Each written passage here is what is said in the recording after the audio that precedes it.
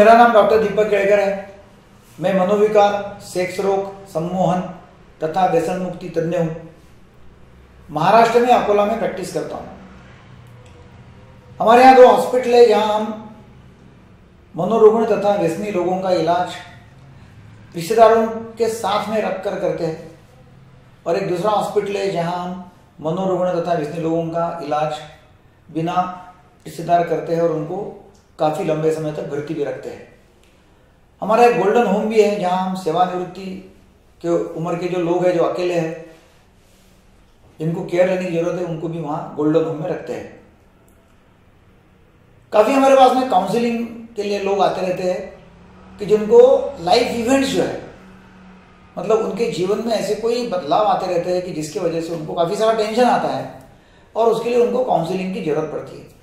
तो खुद लोग यहाँ आते हैं, यहाँ टेलीफोनिक कंसल्टेशन लेते हैं। और फिर उनका इलाज टेलीफोनिकली हो जाता है, जब काउंसलिंग हम करते हैं तो।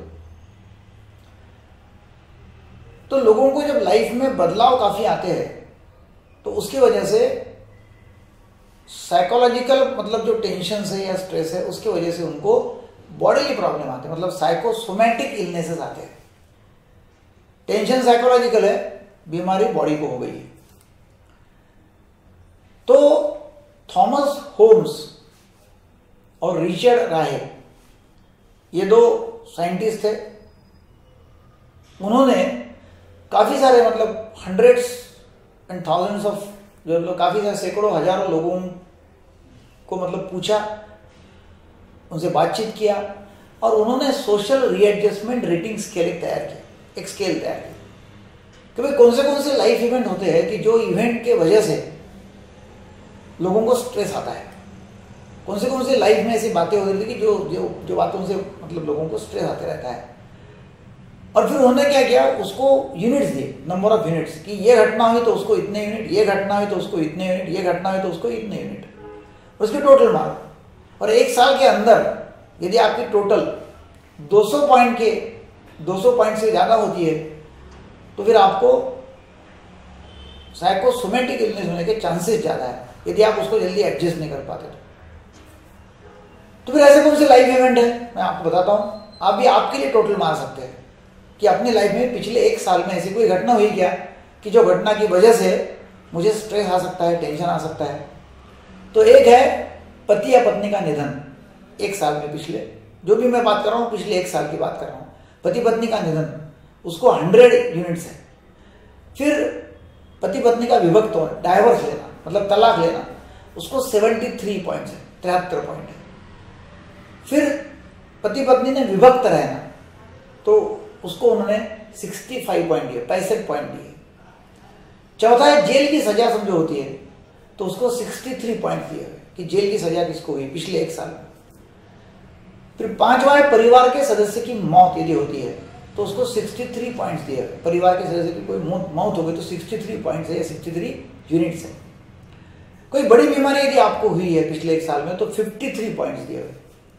शादी हुई है आपकी तो 50 पॉइंट दिए हुए 50 यूनिट्स है। काम से यदि आपको निकाला गया है तो 47 पॉइंट सैतालीस पॉइंट है। पति पत्नी ने साथ में फिर से रहना चालू किया, विभक्त भी साथ में रहना चालू किया तो फिर 45 पॉइंट है। आपने सेवानिवृत्ति ले लिया रिटायरमेंट ले लिया तो 45 यूनिट्स उसको दिए हुए। परिवार के सदस्य को कोई बड़ी बीमारी हुई है तो 44 पॉइंट है 44 पॉइंट है। फिर प्रेगनेंसी दिए, गर्भावस्था तो 40 यूनिट्स उसको दिए हुए किसको सेक्स की बीमारी हुई है तो उनचालीस पॉइंट है थर्टी नाइन पॉइंट है। परिवार में कोई सदस्य का नया जन्म हुआ तो थर्टी नाइन पॉइंट है, उनचालीस पॉइंट है। और व्यवसाय में बड़ा बदलाव हुआ तो थर्टी नाइन पॉइंट से उनचालीस पॉइंट से मतलब ऐसे पंद्रह अलग अलग अलग अलग उन्होंने लाइफ इवेंट्स लिए। ये टोटल पंद्रह हैं। और उसमें उसको यूनिट्स दिए हुए उसका टोटल यदि 200 होता है, और वो एक साल में पीछे तो फिर वो व्यक्ति को चांस है कि वो स्ट्रेस में है, और स्ट्रेस में होने के बावजूद फिर उसको कुछ ना कुछ बीमारी हो सकती है, जो साइकोसोमैटिक रूप से मतलब बाहर आ सकती है। तो आपको यदि आप, आपका खुद का कैलकुलेट कर सकते हैं। यदि आपको ऐसा कि पिछले एक साल में ऐसे, ऐसी कोई घटनाएँ हुई और आपका स्कोर यदि 200 पॉइंट से ऊपर हो रहा है तो आपने देखना चाहिए मैं स्ट्रेस में तो नहीं हूँ, मुझे कोई प्रॉब्लम तो नहीं है, मुझे कोई घबराहट हो रही है टेंशन हो रही है, नींद खराब हो चुकी है, ज़्यादा सोच रहा हूँ तो आप तुरंत कोई साइकोलॉजिस्ट की मदद ले सकते हैं साइकेटिस्ट मदद ले सकते हैं काउंसिलिंग कर सकते हैं। हमारे साथ में आप बातचीत कर सकते हैं, हमारे लिंक नीचे दिए हुए फ़ोन नंबर दिए हुए, हमारे साथ में आप बातचीत कर सकते हैं और आपको जो भी जो भी प्रॉब्लम है डिप्रेशन का प्रॉब्लम इसकी वजह से आया हो एंग्जाइटी का है फोबिया का है या रीएडजस्टमेंट का प्रॉब्लम है तो आप ज़रूर हमारी सलाह ले सकते हैं और हमारी सेवा का लाभ ले सकते हैं। हमारा जो विजन है कि भाई व्यसन मुक्त भारत और हर व्यक्ति को भारत में मेंटल हेल्थ देना, सबके लिए मानसिक स्वास्थ्य तो उसके लिए आपका भी हाथ लगना बहुत ज़रूरी है। आप ये वीडियो लोगों को शेयर करो, जिनको भी ये प्रॉब्लम उनके लाइफ में आते आए होंगे, उन्होंने ज़रूर इसका फ़ायदा उठाना चाहिए और कंसल्टेशन करना चाहिए कंसल्टेशन लेना चाहिए। ज़्यादा से ज़्यादा ये वीडियो आपके व्हाट्सएप ग्रुप के ऊपर फेसबुक ग्रुप के ऊपर शेयर करो। ताकि ज़्यादा से ज़्यादा लोगों को इसकी मालूम हो जाएँगी और लोग एक हेल्दी लाइफ जी सकेंगे। So thank you very much